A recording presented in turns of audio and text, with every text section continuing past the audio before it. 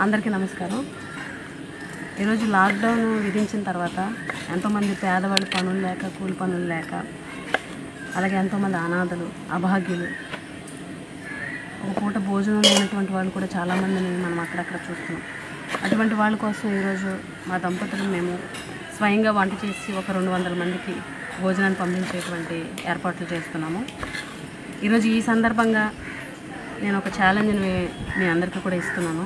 ఎవరైతే మిత్రులు శ్రేయభిలాషులు మా కార్యకర్తలు మా నాయకులు ఉన్నారో ఈ కార్యక్రమాన్ని చూసి స్పందించి చేతనైనంత అలాగే మీ స్తోమతను బట్టి ఒక పది మందికో లేదా ఒక ఐదు మందికో పేదవాళ్ళకి భోజనం పెట్టేటువంటి కార్యక్రమం చేస్తారని మనస్ఫూర్తిగా మేము ఆశిస్తున్నాము.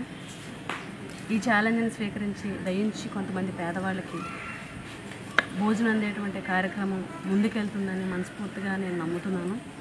ఈ ఛాలెంజ్ని స్వీకరించి ఎవరైతే పేదవాళ్ళకి అభాగ్యులకి భోజనం పెట్టేటువంటి పరిస్థితులు ఉన్నటువంటి నేపథ్యంలో అవి సోషల్ మీడియాలో పోస్ట్ చేస్తే ఖచ్చితంగా మేము స్పందించి మీకు మెసేజ్ రూపంలో మీకు కృతజ్ఞతలు తెలియజేస్తామని చెప్పి ఈ సందర్భంగా తెలియజేస్తున్నాను. అందరికీ ధన్యవాదాలు.